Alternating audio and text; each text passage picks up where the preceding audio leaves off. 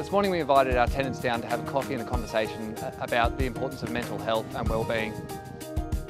I'm so excited to be here today as an OK ambassador and support Stockland through the Stockland Care Foundation to really focus on growing people's resilience and building stronger, thriving communities in the workplace.